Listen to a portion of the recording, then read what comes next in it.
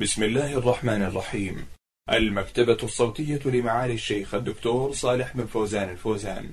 حلقات تبث في إذاعة القرآن الكريم.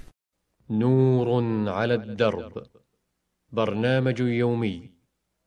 يجيب فيه أصحاب الفضيلة العلماء عن أسئلة المستمعين. الحلقة السابعة عشرة بعد المئة الثانية. بسم الله الرحمن الرحيم. الحمد لله رب العالمين. الصلاة والسلام على قائد الغر المحجلين نبينا محمد وعلى آله وصحبه أجمعين. أيها الإخوة الأحباب أيها الإخوة المستمعون الكرام نرحب بحضراتكم أجمل ترحيب مع لقاء طيب مبارك يجمعنا بفضيلة الشيخ صالح ابن فوزان الفوزان عضو هيئة كبار العلماء وعضو اللجنة الدائمة للإفتاء في حلقة من حلقات برنامج نور على الدرب. مع مطلع هذا اللقاء أرحب بفضيلة الشيخ أجمل الترحيب. فأهلا ومرحبا الشيخ صالح. حياكم الله وبارك فيكم على بركة الله نبدأ هذه الحلقة برسالة السائل أبو عبد الرحمن من جمهورية مصر العربية كفر الشيخ يقول بالنسبة للجماعة الذين يطوفون حول الأضرحة ويعتقدون فيهم بأنهم يتصرفون في الكون ويغيثون الملهوف وغير ذلك. هل لو مات أحد هؤلاء الأشخاص نصلي عليه ويكون ويكون معذور بجهله؟ أم ماذا نفعل تجاههم؟ أفتونا بالتفصيل. جزاكم الله خيرا. بسم الله الرحمن الرحيم. الحمد لله رب العالمين. صلى الله وسلم على نبينا محمد وعلى آله وصحبه وبعد. فإنه بعد نزول بعد بعثة النبي صلى الله عليه وسلم ونزول القرآن الكريم قد زال الجهل ولله الحمد وقامت الحجة. فالذين يطوفون بالقبور ويستغيثون بالأموات وهم يعيشون في بلاد المسلمين ويسمعون كلام الله أو يقرؤونه وقد يكونون يحفظونه عن ظهر قلب ويرددونه ويسمعون أحاديث الرسول صلى الله عليه وسلم ويحضرون خطب الجمع ويسمعون البرامج التي تذاع في الإذاعات من البرامج الدينية العلمية التي فيها التحذير من الشرك والأمر بالتوحيد هؤلاء ليسوا معذورين لأنهم قد قامت عليهم الحجة. وإذا ماتوا وهم على هذا العمل القبيح يطوفون بالقبور ويستغيثون بالأموات فإنهم يعتبرون مشركين كفارا بالله عز وجل. الكفر الأكبر المخرج من الملة. لا يصلى عليهم ولا يدفنون في مقابر المسلمين ولا يرثهم أقاربهم من المسلمين. نسأل الله العافية. نعم. بارك الله فيكم. هذا السائل من ليبيا رمز لاسمه بواو سين يقول في السؤال الأول عندما أكون في صلاة الجماعة ألاحظ أن بعض المصلين يقرؤون الفاتحة أثناء قراءة الإمام ولكن بصوت خافض فما حكم هذا الفعل؟ وهل من الضروري قراءة الفاتحة إذا كانت الصلاة سرية؟ وما الحكم إذا لم تقرأ الفاتحة في مثل هذه الحالة؟ جزاكم الله خيرا. إذا كانت الصلاة سرية فإنها تجب قراءة الفاتحة على المأمومين على الصحيح من أقوال أهل العلم وإذا تركوها لم تصح صلاتهم. أما إذا كانت الصلاة جهرية والإمام يجهر بالقراءة فإن المأموم يقرأ الفاتحة في سكتات الإمام. مهما أمكنه ذلك. ولا يقرأ والإمام يقرأ لما في ذلك من التشويش وعدم التمكن من القراءة على الوجه المطلوب. الله جل وعلا يقول وإذا قرئ القرآن فاستمعوا له وأنصتوا لعلكم ترحمون فيجب على المأموم أن يقرأ الفاتحة في سكتات الإمام إذا أمكنه ذلك. فإن لم يمكنه ذلك فإنه لا حرج عليه لعدم قدرته على ذلك. والحمد لله. نعم. بارك الله فيكم. يقول السائل في سؤاله الثاني آه عند التشهد الأول والثاني هناك من يحرك السبابة في اتجاهات مختلفة فهل من الضروري أن أفعل هذه الحركة؟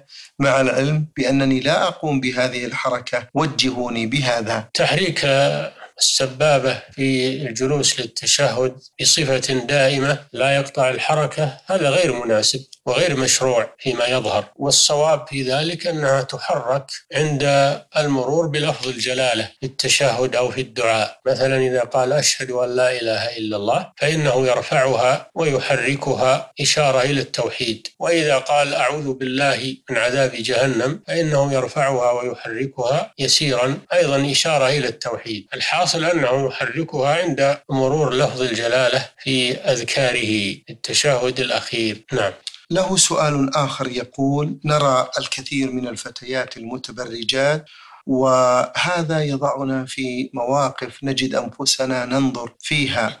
إلى أولئك الفتيات وهنا أسأل عن النظرة الأولى وما مقدارها الزمني وجهوني بهذا. لا يجوز النظر إلى الفتيات ويجب غض البصر. قوله تعالى قل للمؤمنين يغضوا من أبصارهم ويحفظوا فروجهم ذلك أزكى لهم إن الله خبير بما يصنعون. قال النبي صلى الله عليه وسلم النظرة سهم مسموم من سهام إبليس وإنما يعفى عن نظر الفجأة لأن ينظر الإنسان وهو لا يقصد النظر إلى الفتاة ولكن يقع بصره على امرأة فهذه فجأة ليس باختياره ولكن يجب عليها لا يستمر في النظر إليها وإنما يقطع نظره إليها ويصرف بصره عنها. في الحال ولا يستمر. قوله صلى الله عليه وسلم. لك الأولى وليس لك الثانية. الأولى التي بدون قصد أما الثانية التي قصدها فهي حرام عليه وياثم بها وتكون سببا للفتنة وربما تجر إلى إلى شر. نعم. يقول هذا السائل ما هي القراءة الصحيحة لكلمة مالك يوم الدين في سورة الفاتحة؟ أهي مالك أم ملك؟ أفيدونا بذلك. القراءة التي يعتمدها أهل هذه البلاد هي قراءة مالك بالألف وهي قراءة حفص رحمه الله. نعم. يقول ما هي الرقية وما شروطها وما حكمها؟ الرقية هي القراءة على على المريض والمصاب قراءة شيء من القرآن والنفث عليه من القارئ. قراءة شيء من الأدعية الشرعية والتعوذات الشرعية. ثم ينفث على المصاب أو على محل الألم. قراءة على اللديغ الذي لدغته حية أو لسعته عقرب من ذوات السموم. هذه هي الرقية الشرعية وهي سبب للشفاء بإذن الله. يقرأ سورة الفاتحة وهي أعظم الرقى ويقرأ سورة الإخلاص والمعوذتين وينفث على المريض. ويقرأ أيضا ما تيسر من القرآن لا سيما الآيات المناسبة للمرض الذي آه، يقصد الرقية منه. فإذا قرأ على مصاب بالسحر مثلا فإنه يقرأ عليه آيات الآيات التي وردت في السحر من مختلف السور. وأما شروط الرقية فهي أن تكون من القرآن أو من الأدعية الشرعية. ولا تكون بأدعية غير واردة أو بألفاظ مجهولة أو بتعوذات شركية. ثانيا أن تكون بألفاظ بألفاظ عربية لا تكون بلفظ أعجمي. ثالثا أن يكون قصد الراقي والمرقي أن يكون قصدهما بذلك حصول الشفاء من الله سبحانه وتعالى. ولا يعتمد على الرقية وإنما يعتمدان على الله جل وعلا وإنما الرقية تكون سببا من أسباب الشفاء بإذن الله. الاعتماد لا يكون على الرقية ولا يعتقد الإنسان الراقي أو المرقي أن الشفاء يحصل بالرقية وإنما يعتقد أن الشفاء من الله سبحانه وتعالى وأن الرقية إنما هي سبب من الأسباب. نعم. آه، فضيلة الشيخ هذا السائل يقول في آخر أسئلته آه، ما هي صلاة التسابيح وعن كيفيتها وعن أدائها؟ صلاة التسابيح بدعة لأنها لم يرد بها دليل صحيح ثابت عن النبي صلى الله عليه وسلم. فلا داعي لبيان كيفيتها وبيان هيئتها لأنها بدعة. نعم. جزاكم الله خيرا. السائلة أم حذيفة الجبيل أرسلت بهذا السؤال تقول نحن مجموعة من الفتيات جاءتنا الدورة الشهرية ونحن في أعمار لا تتجاوز التسع سنين وجهلا منا لم نصم بعض شهور رمضان وحين علمنا بوجوب صيام ما بدأنا بالصيام فما الواجب في ذلك في قضاء هذه الأيام من شهر الصوم المبارك تجاه هذه الشهور مع الإخراج للصدقة. جزاكم الله خيرا. الواجب عليكن صيام الأيام التي أفطرتن فيها بعد آه، حصول الحيض لأن من حاضت فقد بلغت ووجبت عليها الواجبات الشرعية من صيام وصلاة وغير ذلك. لقوله صلى الله عليه وسلم لا يقبل الله صلاة حائض بغير خمار والمراد من بلغت سن المحيض. وما تركتن من صيام رمضان في الفترة التي مرت في أول بلوغكن هذا يكون عن جهل أو عن تساهل. فالواجب عليكن التوبة إلى الله سبحانه وتعالى وقضاء عدد الأيام التي لم تصمنها وإطعام مسكين عن كل يوم عن التأخير كفارة عن تأخير القضاء إلى هذا الوقت. لا تبرأ الذمة إلا بذلك. توبة إلى الله عز وجل. قضاء الأيام كاملة التي جرى فيها الإفطار بعد البلوغ. إطعام مسكين عن كل يوم كفارة عن التأخير إلى هذا الوقت. وبالله التوفيق. بارك الله فيكم. تقول السائلة هناك واحدة من جداتنا تصوم رجب وشعبان اعتقادا منها بأن ذلك أفضل الشهور فما الحكم في ذلك؟ أما صيام رجب فلم يرد فيه شيء وأما صيام شعبان فقد ورد أن النبي صلى الله عليه وسلم يصوم أكثره فيستحب صيام أكثر شعبان ولا يصام كاملا أما رجب فإنه لم يرد فيه شيء فصيامه أو صيام شيء منه يعتبر بدعة لعدم ورود الدليل بذلك إلا في حق من له صيام مستمر يصومه تطوعا فإنه يصوم رجب مع مع غيره من الشهور. أما قصده وتخصيصه بصيام دون غيره فإنه يعتبر بدعة. نعم. جزاكم الله خيرا. من أسئلتها تقول آه، فضيلة الشيخ امرأة لم يتمم لها أهلها فما الواجب عليها تجاه أهلها؟ هل تتمم لنفسها أم ماذا؟ وما كيفية ذلك؟ العقيقة والمسمى بالتميمة آه، مشروعة في حق الوالد في حق الأب نعم. عن, عن أولاده للذكر شاتان وللجارية شاة واحدة. وهي سنة ليست بواجبة. ولا يعق الإنسان عن نفسه لأنها ليست واجبة وليست مشروعة في حقه هو إنما هي مشروعة في حق الوالد. وإذا تركت وفات وقتها فلا شيء في ذلك لأنها سنة ولا تقضى. نعم. السائلة أم حذيفة سؤالها الأخير تقول امرأة لها طفلان وعندما كانوا نيام انقلبت الأخت الكبرى على الصغرى. فماتت. فما الواجب على هذه المرأة؟ فإذا كان الصيام هل هناك من بديل؟ الأم ليس عليها شيء لأنها لم تفرط في هذا وإنما الكفارة على الكبرى التي انقلبت على الصغرى. إذا كانت هذه الكبرى قد بلغت إذا كانت قد بلغت سن التكليف فإنها تجب عليها كفارة الخطأ وهي عتق رقبة فإن لم تجد فإنها تصوم شهرين متتابعين. أما الأم فليس عليها شيء في ذلك. لأنها ليست متسببة وليست مباشرة أيضا. نعم. جزاكم الله خيرا. السائل محمود من سوريا حلب يقول في هذا السؤال هل الاحتفالات الدينية مثل ليلة القدر وعيد المولد النبوي الشريف ورأس السنة الهجرية ومثل هذه الأعياد هل هي محرمة في الشرع أم لا؟ أفيدونا بذلك. نعم هذه الاحتفالات التي يسمونها الدينية هذه بدعية وليست دينية. لأنها لم يرد فيها دليل عن رسول الله صلى الله عليه وسلم. قد قال صلى الله عليه وسلم من عمل عملا ليس عليه أمرنا فهو رد.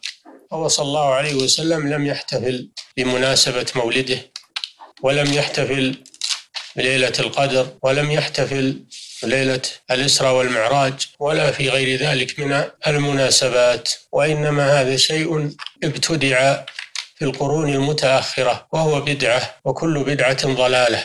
المشروع في ليلة القدر هو الصلاة والدعاء وإحياء ليلة القدر بالعبادة كما كان النبي صلى الله عليه وسلم يفعل ذلك ويحث عليه. أما إحياؤها بالحفل أو بالخطابة فإن هذا من البدع المحدثة التي ما أنزل الله بها من سلطان. وأما بقية ليلة المعراج وليلة النصف من شعبان فهذه لم يرد فيها عبادة خاصة ولا تخصيصها بشيء لا من العبادات ولا من الاحتفالات ولا بأي شيء وإن إنما هي كسائر الليالي. نعم. جزاكم الله خيرا. آه هذا مصري يعمل بالأردن له مجموعة من الأسئلة. يقول بأنه تزوج من فتاة عاقلة وتعمل معلمة ومنذ عامين وقبل الزواج يقول اتفقت أنا ووالدها على إحضار بعض أساسيات الشقة ومن ضمنها فرشة السجاد الموكيت. وعند الدخول وأثناء الزواج حدثتني زوجتي بأن السجاد سوف تسدد ثمنه من راتبها. فغضبت وعلى الفور قمت حلف اليمين عليها بالطلاق. ألا تدفع ثمنه لأن ذلك إلزام على والدها حسب الاتفاق بيني وبينه.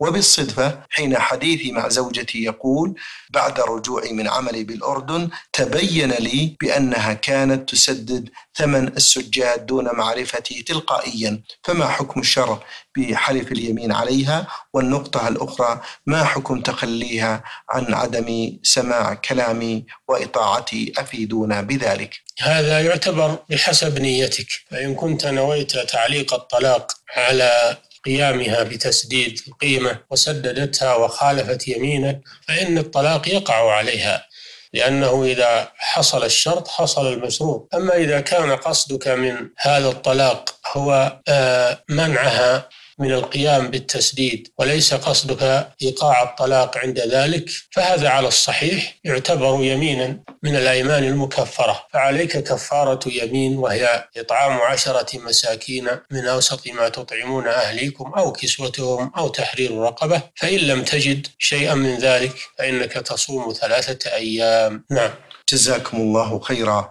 الموضوع الثاني في رسالة السائل مصري يعمل بالأردن يقول هل عائد المال والمصاري من مهنة الحلاقة الرجال حرام؟ حيث أن زوجتي يساورها الشك في ذلك. وهذا على حد قول أختها إليها بأن مهنة الحلاقة والعائد منها حرام رغم أنني أعمل بمهنتي منذ الصغر وتعلمتها من والدي رحمه الله وأحيطكم علما بأنني جامعي ولم أقرأ حديث أو آيات قرآنية تحرم مهنة الحلاقة للرجال أفيدنا بذلك. الحلاقة ليست حراما. وأخذ الأجرة عليها ليست حراما أجرتها ليست حراما والكسب من ورائها حلال والحمد لله إلا إذا كانت هذه الحلاقة غير جائزة كحلاقة اللحاء حلق اللحاء هذه الحلاقة محرمة وأخذ العوض عنها محرم لأنها في مقابل عمل حرام لأن النبي صلى الله عليه وسلم أمر بتوفير اللحى وإرسالها وإرخائها وإكرامها ففي مخالفة ذلك وحلق اللحى معصية لله ولرسوله فأخذ الأجرة على ذلك حرام. نعم. بارك الله فيكم. السؤال الثالث في رسالة هذا السائل يقول أخت زوجتي محجبة وتلبس الخمار وعند حضورها مع زوجها إلى منزلنا فهي تمتنع من الجلوس معنا والسلام علينا والحديث معنا. على حد قولها بأن الجلوس والسلام والحديث مع الرجال حرام رغم أنني زوج أختها ولم أعرفها من قبل وبوجود زوجها والأهل معا طبعا فهل حديثي وسلامي وجلوسي معها وبصحبة الأهل من النساء ووجود والدها وزوجها حرام؟ جزاكم الله خيرا. تكملة للسؤال الذي قبل هذا. نعم وكذلك إذا كانت الحلاقة على هيئة تشابه المشركين فإن هذا أيضا حرام. يعني نهي النبي صلى الله عليه وسلم عن التشبه بالمشركين. أي عمل موضات الحلاقة التي فيها تشبه بالكفار أيضا حرام وأخذ العوض عنها حرام. أما الإجابة عن السؤال الأخير نعم. وهو هل يجوز للمرأة أن تتحدث مع زوج أختها؟ فلا بأس بذلك. لكن بشرط أن لا يكون هناك خلوة. نعم. وأن تكون محجبة. فإذا لم يكن هناك خلوة وكانت محجبة وكان الكلام أيضا كلاما عاديا مما جرت به العادة ولا محذور فيه فلا مانع من محادثتها لزوج أختها. نعم. جزاكم الله خيرا. السائل عين سين كاف عرعر يقول بأنه شاب يطلب العلم الشرعي ويدرس في كلية شرعية. يقول مشكلتي بأنني أفكر في الزواج في كل وقت عندما أكون في الدراسة أو عندما أقرأ كتاب مما يحول بيني وبين التركيز في الدروس وتحصيل العلم خاصة في هذه المرحلة الثمينة من العمر. فهل من توجيه وعلاج لهذه المشكلة علما بأنني لا أستطيع الزواج إلا بعد ثلاث سنوات على الأقل لتكاليف الزواج؟ وأرجو منكم أن تدعوا لي بالتوفيق والهداية. جزاكم الله خيرا. لا شك أن المبادرة بالزواج خصوصا للشاب الذي يخاف على نفسه من الفتنة أن ذلك أمر واجب إذا كان يستطيع تكاليف الزواج. أما إذا كان لا يستطيع تكاليف الزواج فإنه ينتظر حتى ييسر الله جل وعلا. قال تعالى وأنكحوا الأيام منكم والصالحين من عبادكم وإمائكم ليكونوا فقراء يغنيهم الله من فضله والله واسع عليم. وليستعفف الذين لا يجدون نكاحا حتى يغنيهم الله من فضله. فإذا كان قادرا على الزواج ويخاف على نفسه من العنت فإنه يجب عليه الزواج. أما إذا كان قادرا على الزواج ولا يخاف على نفسه من العنت فإنه يجوز له تأخير الزواج ولكن تزوجه أفضل من التأخير لما في الزواج من المصالح. أما إذا كان عاجزا عن الزواج فإنه ينتظر إلى أن ييسر الله سبحانه وتعالى. نعم. شكر الله لكم فضيلة الشيخ وبارك الله فيكم وفي علمكم ونفع بكم المسلمين. أيها الإخوة الأحباب أيها الإخوة المستمعون الكرام أجاب عن أسئلتكم فضيلة الشيخ صالح ابن فوزان الفوزان عضو هيئة كبار العلماء وعضو اللجنة الدائمة للإفتاء. شكر الله لفضيلته على ما بين لنا في هذا اللقاء وشكرا لكم أنتم. وفي الختام تقبلوا تحيات آه، الزملاء من الإذاعة الخارجية فهد العثمان ومن هندسة الصوت سعد خميس. والسلام عليكم ورحمة الله وبركاته.